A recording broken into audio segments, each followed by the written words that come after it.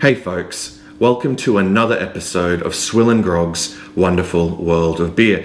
Today we'll be looking at this brew, Mickey's Fine Malt Liquor, 5.6% alcohol by volume, brewed and bottled by the Miller Brewing Company of Milwaukee, Wisconsin, in the United States of America. Now, uh, Mickey's was uh, introduced in 1962, making it 53 years old. So, uh, it's uh, certainly a uh, malt liquor brand that has stood the test of time, much like uh, Olde English and uh, Colt 45 that I've uh, previously reviewed. Anyway, um, this, uh, of course, was very hard to find here in Australia.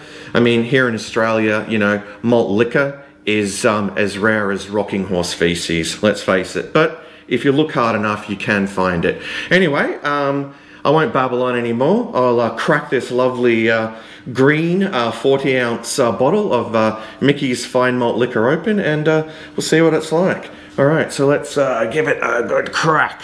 Get that up to the mic there. All right. Okay, and we'll pour it out into this glass that I got from Ikea many years ago. All right.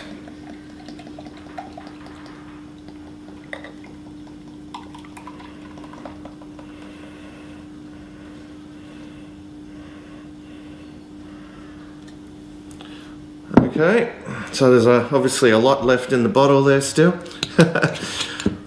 okay, so uh, let's uh, make an assessment uh, of the appearance as we uh, always do. Well, um, the appearance is, uh, yeah, a very clear golden color. There's, um, you know, a decent amount of carbonation there. You, know, you got like a nice uh, thick, you know, fluffy white head there. I think when I poured it, I had just a little well, about bang on, in fact, uh, two fingers of, uh, you know, bright white head. All right, so um, yeah, the appearance, of course, uh, you know, looks uh, quite enticing. So um, yeah, let's move on to the uh, aroma. All right. All right. Well, what I'm uh, picking up is uh, this is you know some uh, sweet grains there, and perhaps a little hint of citrus and uh, a green apple, perhaps. Yeah, but uh, it's uh, quite a pleasant aroma. Let me uh, top this up though. All right. All right, so um, we've talked about the um, appearance uh, and uh, we've talked about the aroma. So um, that could only mean that it's time for the taste test the most important part of the review. So, um, to you, the audience, cheers. Let's dive in.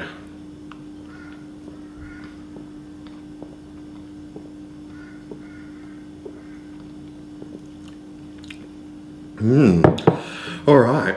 Well, um, my first impression is that um, it's very refreshing. Um, course, it's uh, you know very malt forward you know, up front, you know, I'm getting some nice, sweet, you know, bready malts there.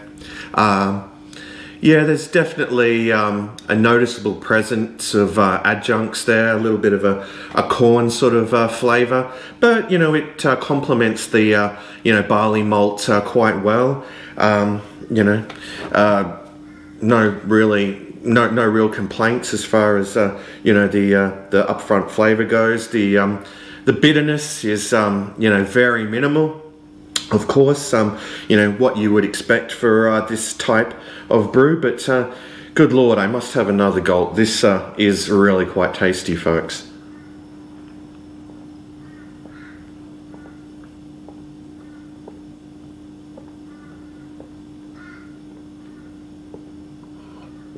Hmm. Wow. There is a little bit of a hot bite happening too, actually. Um, but like I said, the hot presence is like very minimal. Um, but God, it is just such a tasty brew. Yeah, just nice, you know, multi sweetness there. It's not overly sweet, um, but yeah, it really does hit the spot. It's uh, you know very um, you know crisp and clean. Uh, the body is uh, what I would describe as pretty much bang on, you know, medium. Uh, you know, it uh, just goes down so smooth. Uh, yeah, it's, uh, you know, it's very hard to find anything, you know, at all that's, you know, wrong with this brew. I mean, there's just nothing really offensive about it uh, flavor wise. It's just, you know, very tasty. You know, it's just got a really bold character about it, you know, and it's really, really satisfying. I mean, I think it's just a case of you really have to, uh, you know, try it for yourself if you can get your hands on it. But um, yeah, I could imagine myself, uh, you know, chugging back a few of these on a uh, hot summer's day and, uh, you know, feeling uh, very satisfied.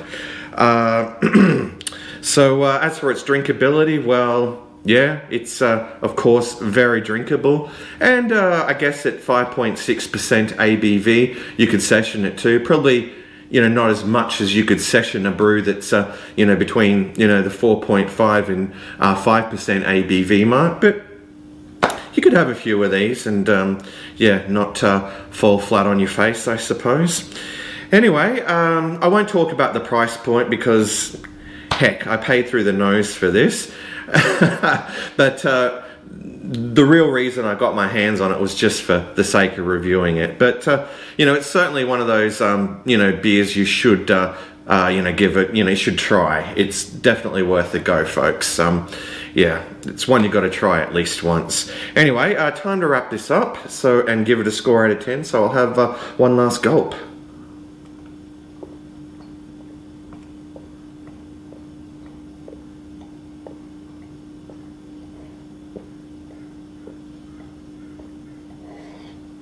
Hmm. All right. It's almost got a sort of um, honey sweetness to it, actually. Um, yeah, I mean, it quickly sort of, you know, dissipates, but um, oh, it's just delicious. Uh, anyway, um, all in all, um, it's a really uh, satisfying brew. Uh, you know, that I really uh, can't find anything, uh, you know, I really can't find anything bad to say about it. Uh, so I'd be more than happy to give it a, a solid 9 out of 10. So there you go, folks. 9 out of 10 for uh, Mickey's Fine Malt Liquor. So uh, definitely check it out if you can. All right, well, uh, thanks for joining me once again for another episode of SwillinGrog's Wonderful World of Beer. I'm just going to kick back and enjoy. Whoa. Whoa yes, it is quite carbonated.